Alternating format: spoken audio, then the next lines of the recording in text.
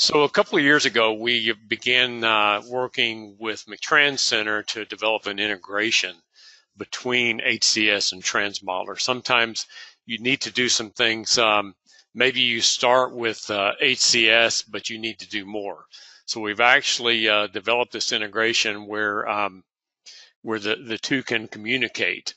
And what we've done is to uh, be able to convert HCS parameters to simulation inputs.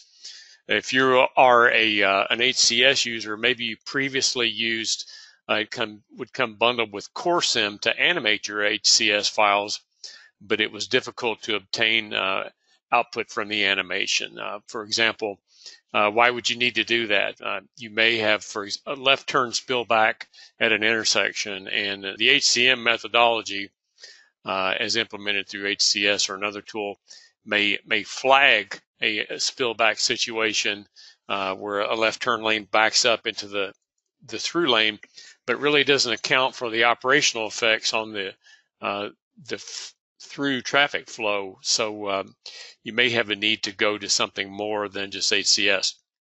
So TransModeler actually converts an HCS file uh, to a simulation database that you can use to conduct a full analysis, and you can even animate your um, your HCS file. So currently, this is done for uh, for urban the urban streets chapters in the HCM, whether it be an isolated intersection, an urban street segment, or uh, an urban street facility, which would be a uh, several intersections connected by segments. Uh, it is also done for stop controlled intersections, uh, two-way stop control, all-way stop control, and for freeway facilities. In order to do this, you need uh, HCS 7.9, and then TransModeler or TransModeler SE 6.0. Uh, now, if you're not familiar with TransModeler SE, uh, it is a what we may think of as a lighter version of TransModeler uh, uh and a less expensive version. Uh, it has about 85% of the functionality as the full TransModeler. The primary limitation is in the size of the network.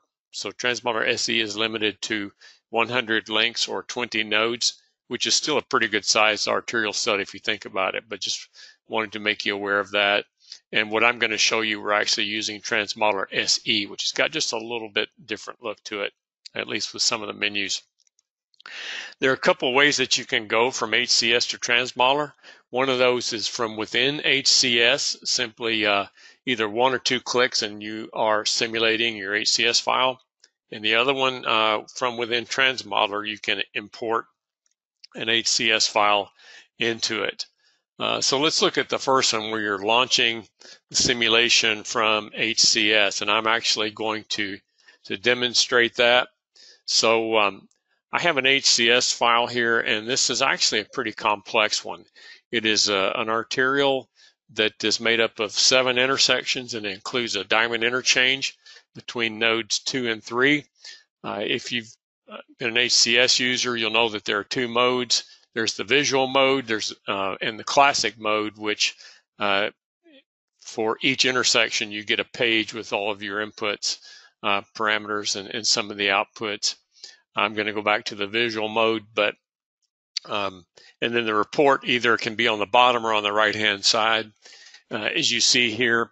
And it's very simple. Just from within TransModeler, you can either uh, click on the little quick animation button once you have your uh, HCS file open, or uh, simply File, TransModeler, View Animation.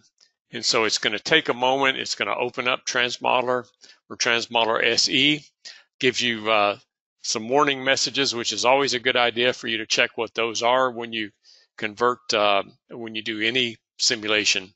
And um, as you can see, and it's telling me a couple things I need to check here.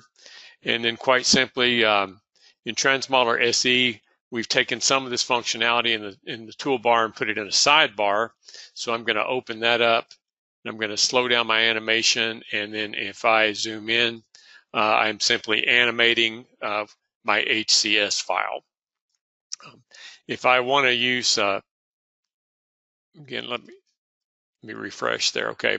If I want to uh, to animate that in 3D, it's as simple as taking and starting my my 3D um, viewer and creating a new one. It's going to open up a 3D window.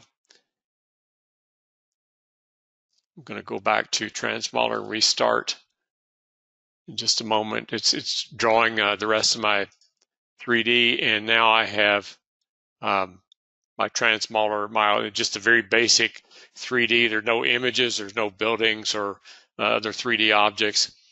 I could certainly add those if I wish, but this is just simply taking the um, the HCS file with a couple of clicks, getting an animation of it, a couple more clicks, and I can get a 3D of that animation. So I'm going to close that out.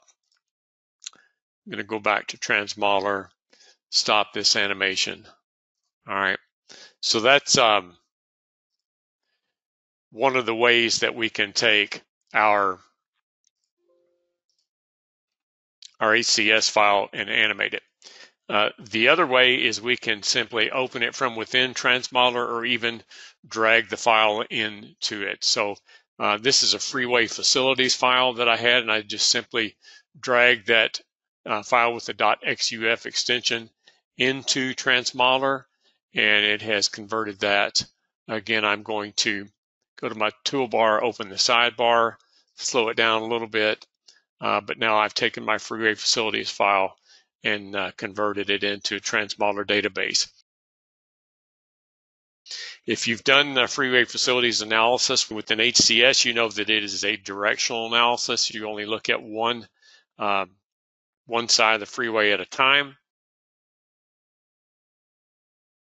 This will produce the same, also the same performance measures uh, that are simulation based that you get in HCS, including the heat map. Um, but anyway, this is just simply converting a freeway facilities file into TransModeler. So uh, I'm going to stop that. And then uh, just one other thing I wanted to point out. In doing so, it's also possible within TransModeler to take your HCS file and locate it on a map. I'm not going to uh, illustrate that for you other than with this graphic, but going back to the first example that I showed in simply taking um, those points that are uh, intersections are nodes one through seven that are shown on the top of the, the top half of the picture and locating them on a map, then I can simply take my file and then rotate it, align it along uh, the, the facility so that we can take advantage of the imagery, whether it's a satellite image or a map based. Dan um, illustrated that before with uh, the previous example, but I can take my HCS file and actually physically located on a map. And if you've been a long time HCS user like I have, uh, to me that was always a source of frustration is not being able to locate it on a map. So uh, with that, I'm going to turn it back over to Dan and let him talk about a uh, couple of the other features that are within TransModeler.